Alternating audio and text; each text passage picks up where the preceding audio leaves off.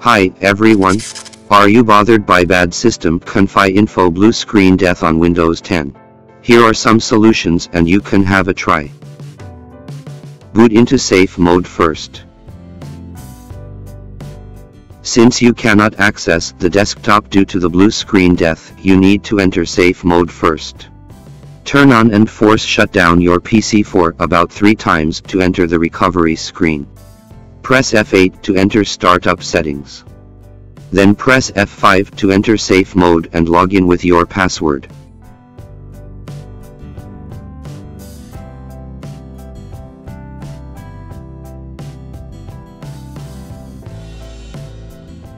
Fix 1 Run Windows Memory Diagnostic. Press Windows and R. Input the on-screen command to open Windows Memory Diagnostic. Then select Restart Now and check for problems. Fix 2 Uninstall applications and updates. Open Control Panel.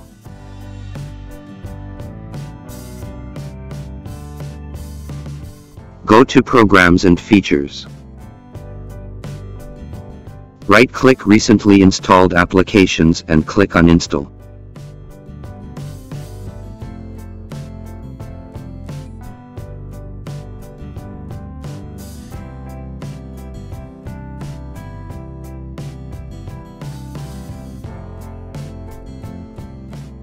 Click View Installed Updates.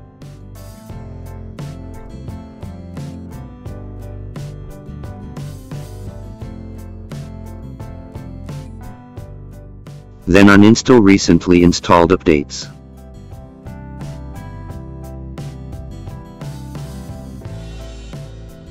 Fix 3 Update drivers. Right-click the Start button and select Device Manager. Right-click a device and select Update driver. In the pop-up window, select Search automatically for updated driver software. Then follow the on-screen instructions to finish it. How to recover data from a BSOD PC. Run Minitool Partition Wizard on another PC. Click Bootable Media and follow the on-screen instructions to make a bootable USB drive. Then boot the problematic PC from the bootable USB drive and connect an external hard drive to store recovered files later. In Minitool Partition Wizard, click Data Recovery. Select a logical drive or disk to scan.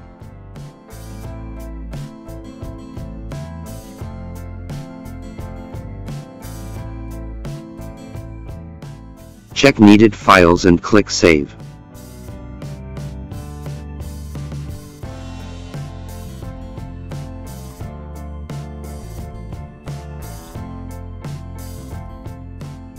Then select your external hard drive to save them.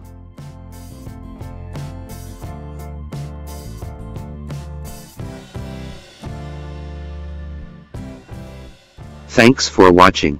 For any questions, please leave comments or contact us via support at minitool.com.